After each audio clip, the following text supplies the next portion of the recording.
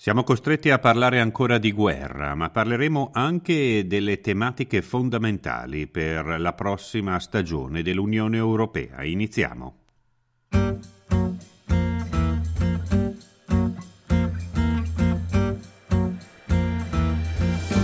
Una buona giornata, buona domenica da Fabio Pizzul, questo è Dialoghi a Nord-Ovest, appuntamento settimanale con un dialogo con voi a partire dalle vostre domande e un tentativo di affrontare anche le tematiche più attuali. Purtroppo bisogna parlare ancora di guerra perché quello che è accaduto questa notte con l'attacco massiccio da parte dell'Iran nei confronti di Israele con droni e missili ipersonici ha ulteriormente aggravato lo scenario medio orientale e ha aperto eh, delle possibilità di escalation del conflitto conflitto in quella eh, zona del mondo, sempre molto delicata se non a rischio esplosione. Quello che è accaduto è chiaro, l'Iran ha voluto rispondere a quello che era stato l'attacco all'ambasciata, alla propria ambasciata a Damasco da parte di Israele in chiara violazione del diritto internazionale. Eh, gli ayatollah iraniani hanno detto non potevamo non rispondere,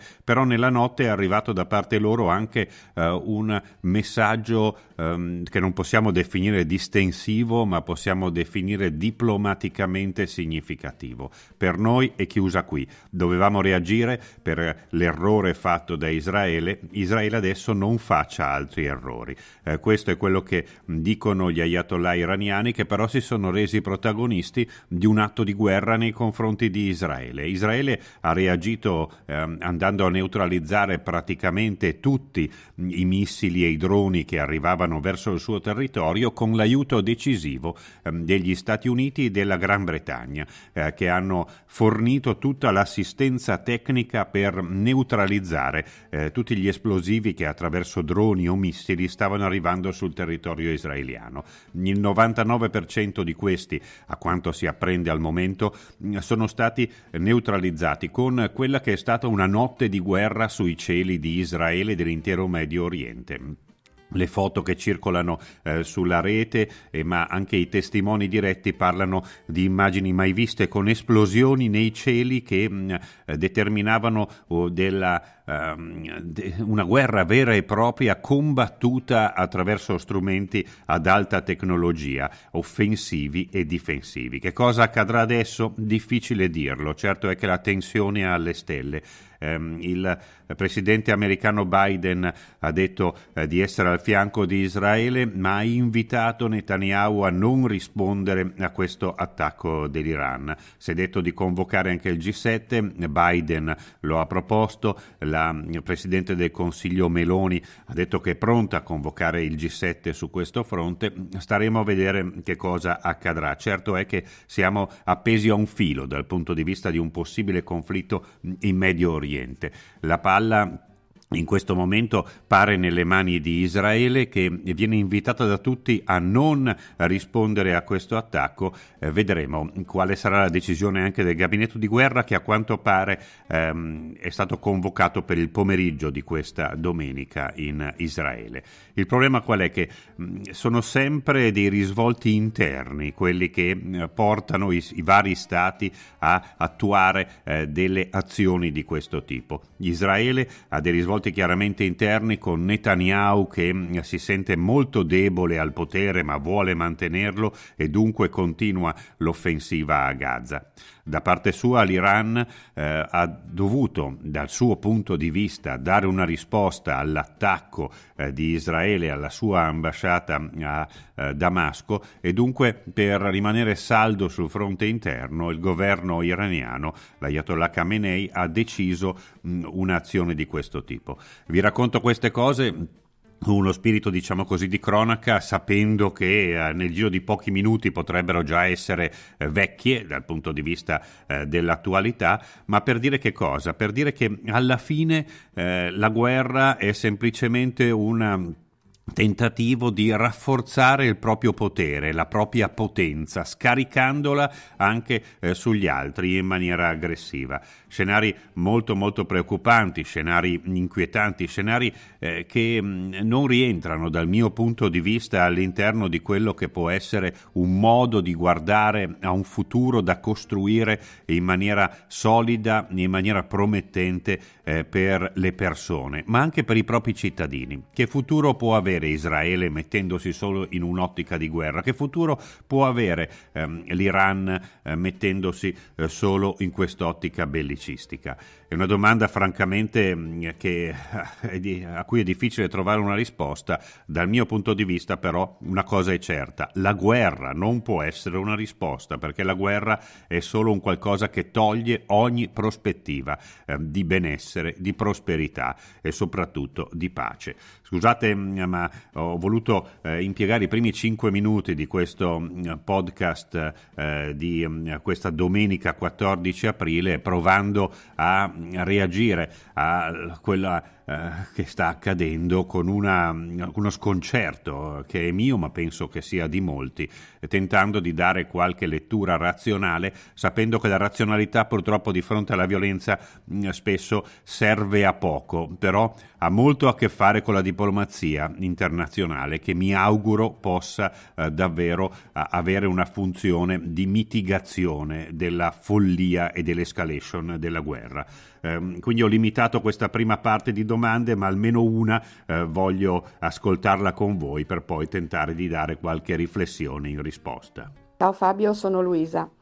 Volevo farti una domanda. Si parla tanto di eh, persone che non vanno più a votare, c'è questo allontanamento dalla politica, ma io mi chiedo, al di là dei vari schieramenti, cercare di fare alleanze, mettere insieme di tutto e di più, ma se cominciassimo a parlare di contenuti, magari la gente poi si appassiona se tu gli dici qualcosa di chiaro, di cosa vuoi fare, di co- come vogliamo porci nell'Europa che sembra tanto lontane le elezioni, ma sono qui. Cioè tra un mese e mezzo siamo in piena campagna elettorale. Grazie. Grazie a te Luisa, sono completamente d'accordo con te. Dovremmo mettere da parte eh, i ragionamenti che allontanano la gente, secondo me, su eh, schieramenti, campi più o meno larghi, polemiche reciproche, che sono determinate anche dal fatto che eh, le elezioni europee mm, sono elezioni proporzionali, cioè sono elezioni in cui eh, i partiti devono correre da soli. Allora da qui alle europee purtroppo avremo um, una netta, uh, cons- una netta così, uh, preponderanza di uh, atteggiamenti che vogliono dividere piuttosto che um, unire le potenziali coalizioni che servono per la politica italiana. Ma poi in vista vista degli europei dovremmo un po' mettere da parte la politica italiana per parlare davvero di Europa e di contenuti per l'Europa. Allora ehm, voglio darvi lì qualche, qualche, spunto su quelli che secondo me dovrebbero essere i contenuti per eh, la eh, Europa di oggi e di domani. E primo, continuare con ehm, la politica eh, di sostenibilità economica, ambientale, energetica. Il Green Deal eh, che molti in Italia liquidano dicendo è solo un modo per mettere in difficoltà eh, gli italiani perché li costringono a cambiare le autovetture, perché ci costringono interventi a nostre spese sulle nostre case e quindi eh, ci costringono a spendere dei soldi. Ecco in realtà è l'unica prospettiva possibile perché ehm, dobbiamo ragionare in termini eh, che tecnicamente si chiamano di one health cioè di salute ehm, globale di salute unitaria. Eh, noi possiamo pensare di continuare a vivere bene in questi nostri paesi se ci occupiamo dell'ambiente se ci occupiamo della sanità se ci occupiamo del welfare se ci occupiamo insomma del nostro nostro benessere. Ed è un benessere che mh, non può uh, farci risultare indifferenti nei confronti delle tematiche ambientali. Qualcuno potrebbe dire sì, ma anche se noi um, azzeriamo le emissioni, ci sono la Cina, ci sono i paesi emergenti, c'è, c'è l'India eh, che continuano a inquinare, quindi per il nostro pianeta non cambia nulla. E cambia come? Eh, se mh, l'Europa si mette in un'ottica eh, di provare a creare le condizioni per una eh, transizione eh, che eh, possa portare eh, salute, che è la cosa principale, e benessere. E guardate, anche per la competitività della nostra Europa, andare in quella direzione significa eh, poter essere ancora capaci di creare valore attraverso mh, mm, il nostro sistema produttivo da qua a qualche anno, perché se non ci muoviamo in quell'ottica, altri paesi lo stanno già facendo, la Cina ad esempio molto più di altri, gli Stati Uniti con investimenti ingenti. Se l'Europa perde di competitività, non è solo una questione, sì vabbè però eh, mi rimangono i soldi in tasca perché non devo cambiare la macchina, non devo intervenire sulla mia casa per renderla più ecologica, no, il problema è la competitività, se non si va nell'ottica ehm, di, questa, di questo Green Deal, l'Europa sarà meno competitiva, sarà meno in grado di generare valore e eh, questo sapete cosa significa? Che con meno ricchezza avremo meno possibilità di finanziare quelli che sono i nostri fiori all'occhiello e quelli ehm, che sono gli aspetti principali del nostro benessere, ovvero eh, il welfare, quindi la salute, l'assistenza sociale e anche le nostre pensioni.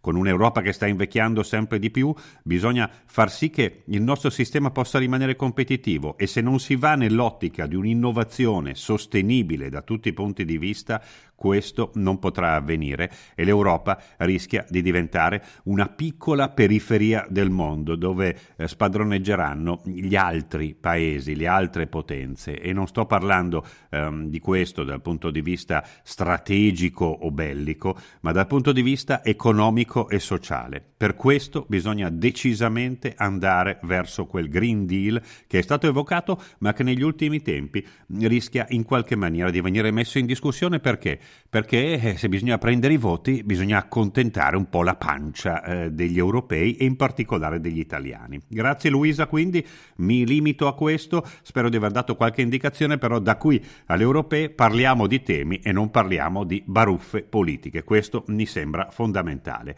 E adesso volevo eh, condividere con voi un approfondimento, un commento che mi ha particolarmente colpito in questi giorni.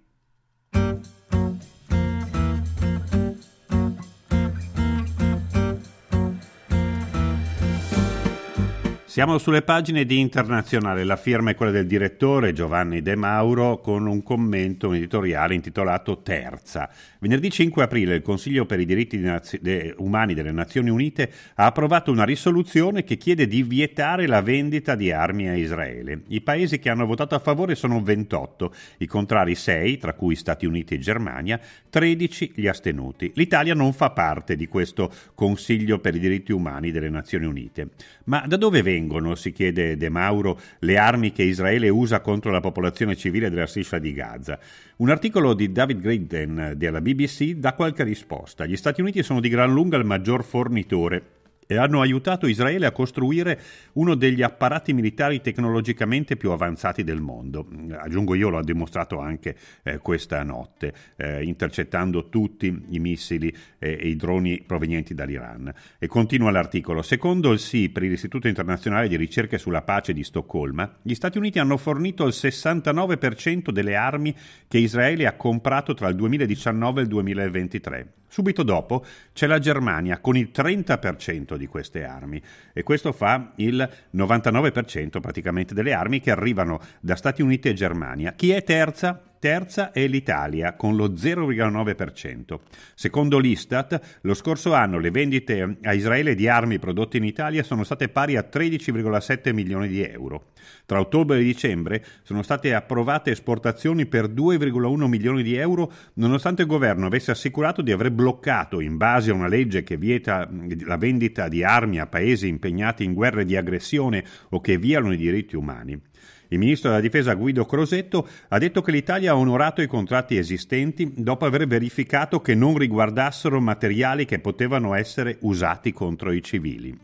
Definizione ambigua, dice De Mauro, ma eh, proprio analizzando i dati Istat eh, su altra economia, Duccio Facchini ha ricostruito che a dicembre dello scorso anno una parte rilevante delle esportazioni militari italiane verso Israele ha riguardato armi e munizioni a uso militare, oltre a materiali e pezzi di ricambio probabilmente usati per i 30 aerei addestratori militari M346 venduti negli ultimi anni dalla Lenia Aermacchi del gruppo Leonardo. Per far che cosa? Per formare i piloti dell'aviazione israeliana, la stessa aviazione che da 185 giorni bombarda la striscia di Gaza. Vedete qui le contraddizioni che hanno a che fare eh, con la nostra industria delle armi.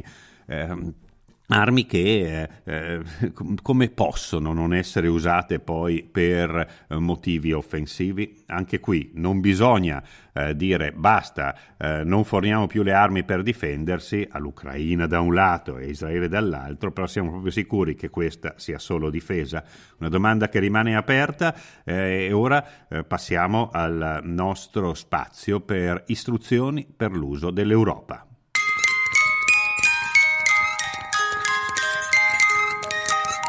Quest'oggi vorrei parlarvi dell'alto rappresentante dell'Unione per gli affari esteri e la politica di sicurezza. È una delle principali novità introdotte dal Trattato di Lisbona eh, nell'ambito della politica estera e di sicurezza comune. Il rappresentante, anzi l'alto rappresentante, è nominato dal Consiglio europeo con l'accordo del Presidente della Commissione europea.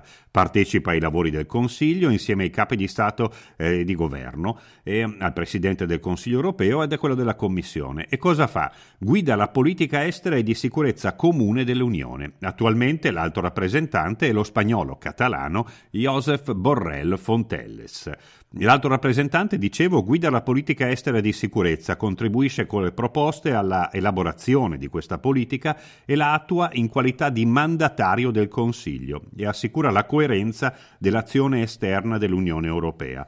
Poi tra le altre cose presiede il Consiglio Affari Esteri, rappresenta l'Unione per le materie che rientrano nella politica estera e insomma eh, è una sorta di rappresentante, però eh, è un rappresentante di una politica estera comune che ancora non esiste perché è in capo alle trattative tra i singoli stati, per cui un intervento di questo alto rappresentante deve essere eh, prima discusso eh, e la posizione è fatta da, da una posizione che deve maturare attraverso decisioni unanimi del Consiglio, per cui un altro rappresentante eh, che rappresenta un qualcosa che ancora non esiste, come la politica estera unitaria dell'Unione Europea e anche eh, un meccanismo di difesa comune. Da qui si coglie ancora una volta la debolezza dell'Unione Europea in questo campo e in questo scenario internazionale che richiede compattezza e decisioni eh, prese davvero a, con grande rapidità, cosa che attualmente per quanto riguarda la politica estera l'Unione Europea non è in grado di fare.